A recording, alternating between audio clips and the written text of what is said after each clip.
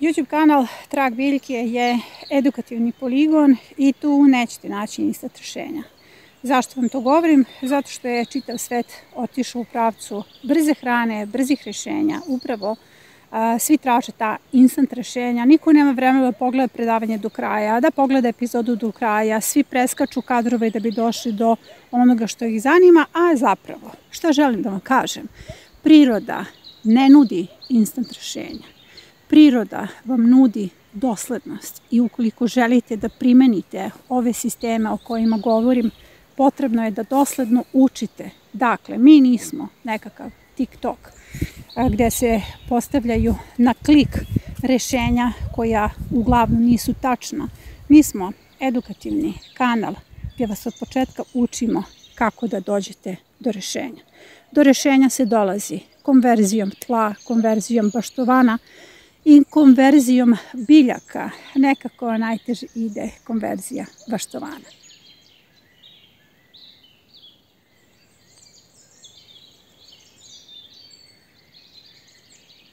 U ovoj epizodi radim setvu graška na otvorenom polju, iako vidite da je sve pod snegom. Ima postavljenu prolećnu zonu, prolećna zona je zona gdje se sadi grašak, ona je u permomodelima, dakle svuda gdje su permomodeli mogu da radim setvu graška, neću moći samo na ovom delu gdje su modeli za brzi uzgoj. Dakle, permomodeli vam omogućavaju setvu i pod snegom. Ono što je najvažnije i što zapravo opravdava moju priču o na početku o tome da mi ne nudimo instant rešenja jeste sledeće. Da biste razumeli turnuse graška u bašti potrebno da poslušate predavanje a, koje se zove moć azotofiksacije i da pogledate epizode gde radim raspored graška u turnusima. Sada ću kratko sve to da ponovim. Dakle, danas setva graška na otvornom polju. Danas je 5. mart, setva graška.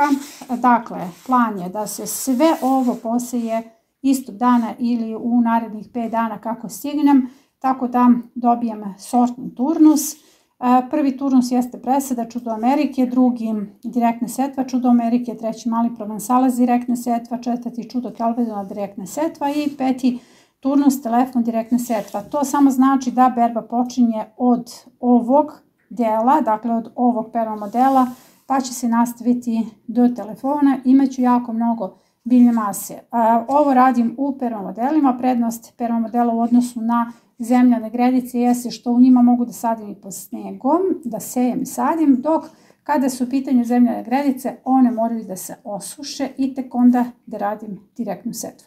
U zemljanim gredicama ide direktna setva, presadu ubacujte u permamodele pa da radimo. Kao što vidite, e, ja nadograđujem permamodele zato što su mi sve to pojele ovce.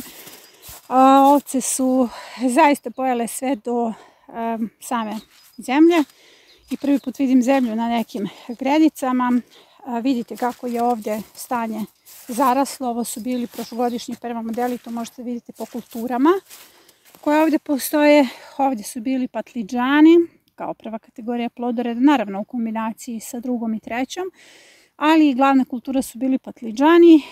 Vidite da je ovde dosta prerasla i ima puno pirike, mrtve koprive, jako mnogo biljaka I sad ću vam pokazati kako ću da uslojim jedan perma model kako bih posadila ovde grašak. Ja ovde hoću da ubacim peti turnus graška. Ovo što vidite ovde jeste prolećna zona. Prolećna zona kod mene ima 18 gredica, a tri gredice za brzi uzgoj i ostalo su 15 perma modela. I upravo sam ovde planirala sve rano prolećne kulture. U vašim projektima rano prolećna zona je zaista vezana i uz rano prolećnu setvu. Dakle, gledajte samo svoje datume. Ovde sam u jednoj od epizoda uh, postavila model sa graškom, tikvice grašak i ovde i to će biti drugi turnus čudo Amerike. Dakle, tu hoću dve niske sorte i čitavom površinom će biti posejana grašak u različitim modelima. planiram ovdje pet turnusa, a dok ono što sam vam malo pripokazala nalazi se ovdje. Ovdje želim da uslovim jedan prvo model i da postavim grašak. To će biti grašak na nosačima visoka sorta. Vrlo zanimljivo, estetski i produktivno. Ali zašto ga tu postavljam? Zato što ujedno želim da vam pokažem kako da uslojite jedan, jednu površinu ukoliko imate ledinu. Jer pazite, ovo sad kod mene izgleda upravo kao da je ledina. Jer su porasle divlje biljke, imam piriku, imam mrtvu koprivu, imam biljke koje su ostale od prošle sezone. I što raditi u takvoj situaciji? Dakle, povezujem grašak sa postavkom prvog modela, snege, mogu da radim zato što imam nudik postavljen ovdje i izaći ću malo iz prolećne zone. Sve u službi edukacije. Ovo sam postavila juče, ovo je letnja zona i evo kako je sve ovdje slomljeno još, polako spajamo mozaik. Dakle, imate prolećnu zonu koja je tamo i ovdje se nastavlja letnja zona. Ono ovdje je zona pinciranja koju sam završila već i lagano se širi letnja zona. Ovdje sam postavila slamu i želim da vam pojasnim zašto je ovdje slama. Smatram da ljudi mogu samo vlastitim iskustvom da progovaraju istinu, jer ne možete drugačije. Vrlo je pogrešno da pričate o nečem što niste radili ili da što je najgore, edukujete ljude, a da nemate to iskustvo.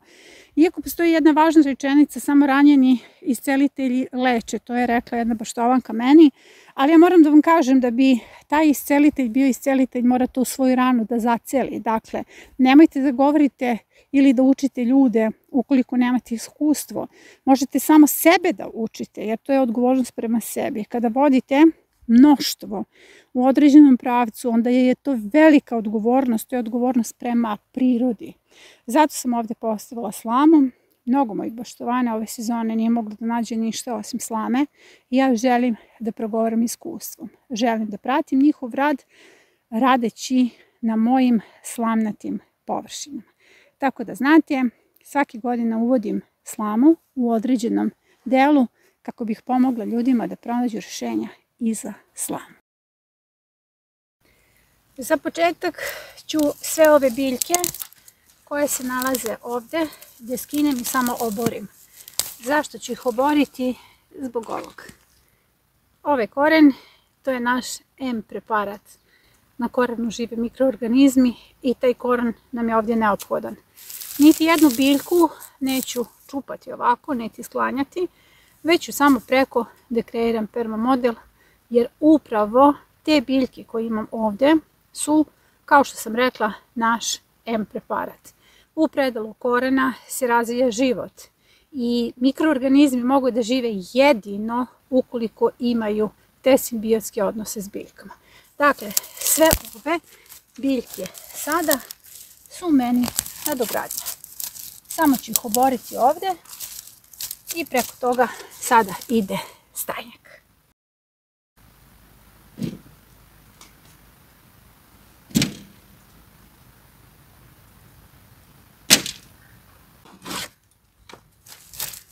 Sada ću preko da pobacam stajnjak. Najčešće pitanje baštovana je šta mi je ovo u bašti. Evo vidite, nadam se da će se vidjeti dobro, ovo su crvi u stajnjaku. Najčešće pitanje je koja mi je to buba, šta će se desiti ako unesem neke crve u svojoj bašti ili ne znam, bilo šta što leti, puže i gamiže. E, najveća opasnost za vašu paštu ste vi. Sve treba da bude deo predatorskog lanca. Svako živo biće je dobrodošlo da ostvari predatorski lanac. Treba da se oslobađate malo tih strahova. Vidite, ja volim što ću biti dobar domaćin, što ću nahraniti, svako biće u svojoj bašti.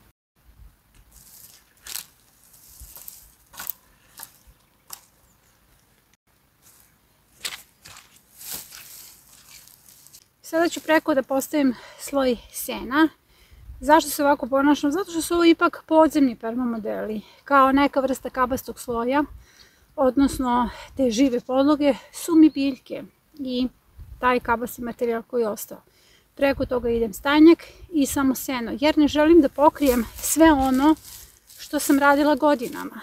Ja sam ovdje godinama radila na humifikaciji, postigla, ovo je bila jedna od najboljih gredica prošle sezone, a to što su ovce to otvorile, jel, i ostavile nezaštićeno, to je sad jedan drugi problem i to rešavam upravo ponovnom ishranom ove gredice. Ova gredica je nešto uža, tako da će analize gredica za ovaj deo da budu upravo tako i organizovane.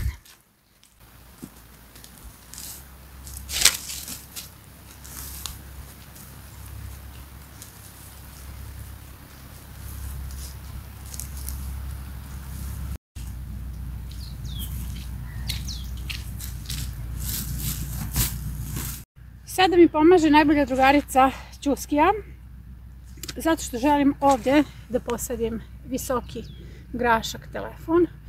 Hoću da podignem sače, da u krug posijem grašak, jer želim jedno visoko biljno zdanje u rano proleće, odnosno to će se desiti tamo negdje u maju, ali imati visoku biljku u bašti u maju je mnogo lep prizor.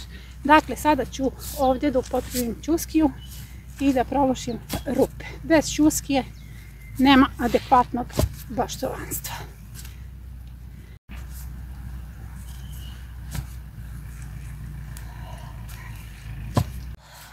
Nosači su već u bašti, oni koji nisu polomljeni. Jedan po jedan ubacujem unutra i samo treba malo da se pritisne. Vidite kako ovo dobro izgleda. Sada imam jednu šumu nosača i svuda okolo sadit ću visok grašak telefon da bi se on popeo, a oko njih ću posaditi cvekle, blitve, salate, lukove, sve ono što može. Dakle, ovaj, ovaj će prvi model biti na neki način u funkciji mlade berbe. Unutra ću staviti kupusarice da ih sakrijem. I kada završi vegetaciju ovaj grašak, s jedne strane ću postaviti krastavac, s druge strane će ostati otvorene kupusarice. Dakle, ovdje se radi jedna vrlo ambiciozna priča, ambiciozan model. E, ono što želim da vam kažem je sljedeće. E, stalno se postavljaju pitanja, pitanja uloge čovjeka u prirodi. E, sjećam se svog prvog, prvog predavanja iz sociologije na veterinarskom fakultetu kada sam nasred predavanja rekla da ja ne vidim adekvatnu ulogu čovjeka u prirodi, tada sam imala 18 godina i zaista sam bila prilično ogorčena na ono što vidim još tada. tada sam pozvala na dodatni razgovor gdje mi je rečeno da, ali vidiš svu tu umetnost koji, koju radi čovjek. čovjek pravi tako vrhunska umetnička dela. Znate, najveći performans je u prirodi. I to što mi radimo vrhunska umetnička dela, radimo ih samo zbog sebe i to je jedna vrsta ljudskog antropocentra. Mi smo sebe stavili u centar i mislimo da je sve ono što radimo zapravo korisno prirodi. Naprotiv, sve ono što je posljedica našeg ponašanja jeste jedna potrošačka industrija koja ovu prirodu uništava na više nivoa. Sada ću ovdje da napravim gnezda i da posejem grašak.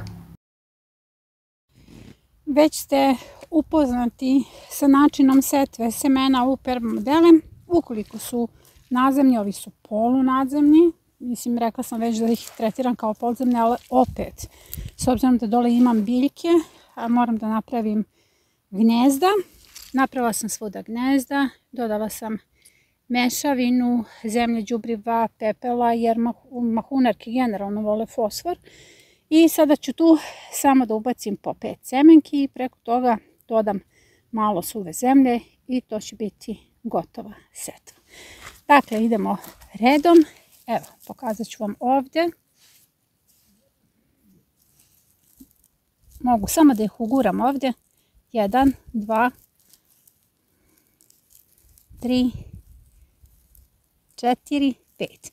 E, tako sam lepo ovo napunila da ću samo da pokrijem ovom zemljom. Vidite.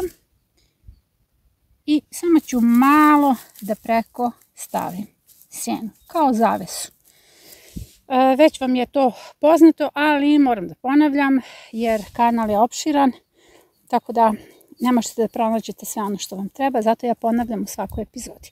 I sada ću ovde da posejem telefon.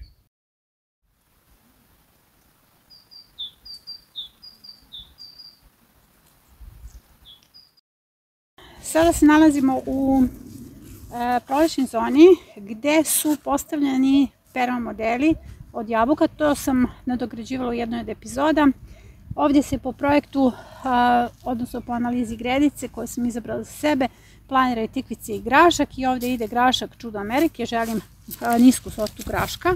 E, I sada ću vam pokazati kako ćete raditi setvu na snegu. Ovo je podzemni prvi model, dakle ja sam na ovom radom na humifikaciji radim već jako dugo. Sneg je, ispod snega su salate, evo ih, pire salate, to sam posadila već u jednoj od prethodnih epizoda. Samo ćete dakle da sklonite sneg, da napravite gnezdo, da dođete do zemlje. Ukoliko vam je perma model duboko, pripremite sebi zemlju koju ćete da stavite, evo kao što ja sad stavljam, dakle mešavina kao što sam malo pre uradila. I samo ćete da stavite sjeme, 5 do 7 sjemenki, zavisi kakva je klijavost i preko toga ponovo sloj suve zemlje. I to je to. Ono što je ovde najvažnije kao poruka jeste ako imate permomodele, vama sneg ne smeta da radite, radite normalno setvu jer uskoro će ovako mokro, uskoro će ugrejati i ovaj grašak će vrlo brzo da nikne i samo malo navučete ovde sen. Imam salatu, imam grašak, ovdje imam mogućnost da posejem ostatak brzog uzgoja ako mi treba, samo ako mi zatreba, ako nemam dovoljno hrane jer mesta za brzi uzgoj su tu samo u slučaju da nemate dovoljno mesta, da nemate dovoljno hrane, recimo treba vam više spanaća, pa ovdje mogu da posijem spanać jer tikvice dolaze tek 1. maja. To je to za današnju epizodu. Promene će nastati onda kada čovjek shvati da je on ta poluga koja menja sistem jer smo mi potrošači i mi upravljamo tržištem. Na taj način možemo da smanjimo efekt industrija na vlastiti život. Za slobodu i nezavisnost potrebna nam je vlastita zemlja, vredne ruke, dobar alat, šuma, potok i znanje. Za znanje zapratite kanal.